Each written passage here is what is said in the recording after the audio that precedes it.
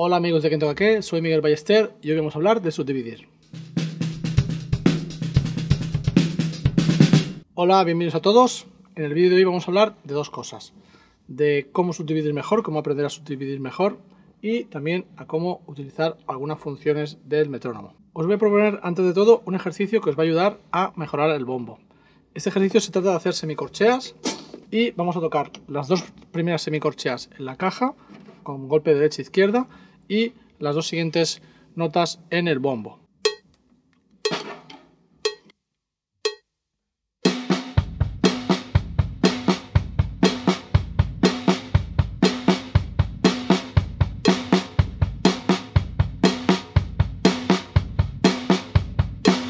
Como veis es un ejercicio que no es muy difícil, pero me pasa que con muchos alumnos cuando están empezando a estudiar eh, lo que hacen de alguna forma es intentar clavar la primera nota de la mano derecha con el clic del metrónomo ta ta coco ta ta coco ta ta coco pero el resto de notas que hay en el tiempo vale no están bien cuantificadas. Es decir que a veces se hace ta ta tu tu ta ta tu tu ta ta tu tu ta. Es decir se va moviendo un poco y aunque la primera nota de las cuatro coincida con el clic, el resto de notas que están dentro del, tiempo están un poco movidas.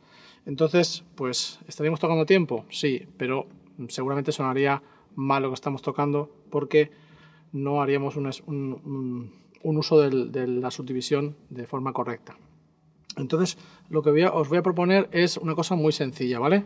Ya sabéis que yo uso muchas veces una aplicación de, para metrónomo que se llama Tempo, ¿vale?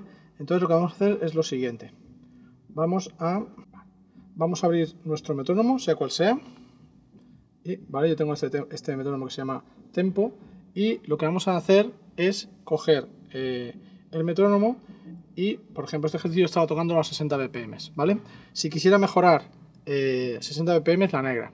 Si quisiera mejorar mi subdivisión, lo que haría sería irme aquí, ¿vale? Y poner la subdivisión a semicorcheas. Y entonces, si le doy el play, lo que sonaría sería esto.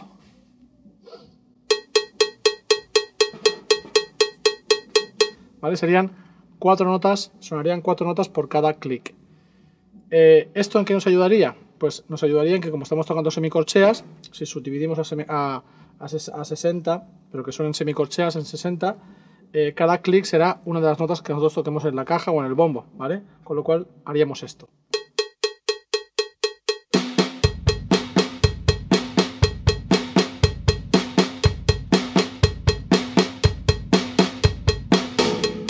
Entonces, como veis, al tener más clics entre pulsación y pulsación, eh, nosotros tenemos que tocar una nota con cada clic y nos va a ayudar eso a ser más precisos. Cuando luego volvamos a tocar a 60 BPM la negra, ¿vale? Lo que haremos será que seguramente tengamos una subdivisión más clara en nuestra, cabeza de hacia dónde tienen que ir las notas. Entonces, esta es una herramienta muy interesante para usar el metrónomo de una forma un poco diferente. Es decir, estamos acostumbrados siempre a poner el clic a negras y a tocar pues lo que sea, pero siempre con el clic a negras. Entonces, si usamos esta subdivisión de semicorcheas en el metrónomo, pues es muy sencillo que podamos tocar y podamos mejorar nuestra subdivisión de cualquier ejercicio, ¿vale? Yo os pongo este ejercicio porque es un ejercicio que trabajo regularmente con mis alumnos y que como siempre cuesta un poco que el bombo tener un poco de precisión, pues yo creo que este tipo de, subdivisiones nos va a ayudar mucho.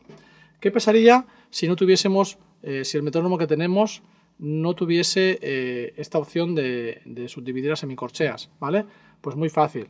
Si tenemos el clic a 60, ¿vale? 60 es la negra. Si pusiésemos el doble de clics a 120, estaríamos tocando corcheas. Y si lo ponemos al doble, estaremos tocando semicorcheas. Es decir, si queréis tocar 60 a la negra, pero queréis que suene la subdivisión que, hemos escuchado antes, a clic, clic, clic, clic, clic, ¿vale? Como a semicorcheas, lo que podéis hacer es subir el metrónomo a 240 BPM. y coincidirá, 240 la, negra, y coincidirá, eh, sonará igual, exactamente igual a antes que teníamos 60, eh, pero subdivisión semicorcheas, ¿vale? Voy a tocar 240 para que lo veáis.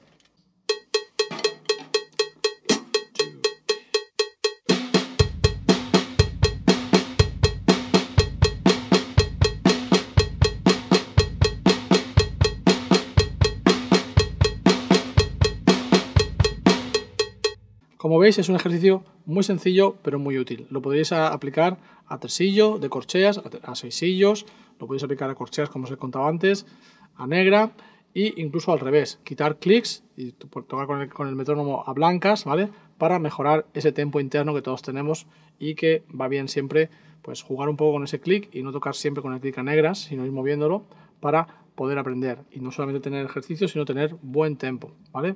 Entonces, eh, importante tener buena subdivisión, importante tener buen tempo. Si queremos tener buen tempo, intentamos quitar clics y clavarlo, ¿vale? Para que así necesitemos menos referencias y nuestro tempo sea mejor. Y si queremos mejorar nuestra subdivisión, lo que haremos será poner clics, ¿vale? E intentar que cada nota que toquemos coincida con ese clic que, que estamos usando.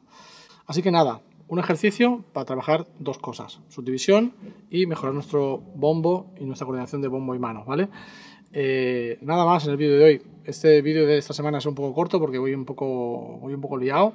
He tenido grabaciones, he tenido ya eh, algunos primeros ensayos para preparar algún concierto que por suerte están empezando a salir y nos van a intentar eh, pues salvar de esta, de esta catástrofe que estamos sufriendo todos los músicos. Y nada, nos vemos en 7 días. Recordad como siempre suscribiros al canal si no estáis suscritos y activar la campanita si os apetece y si no, pues aquí estaré yo una semana tras otra dando nuevo contenido. Eh, gracias por ver el vídeo y hasta la próxima. Chao.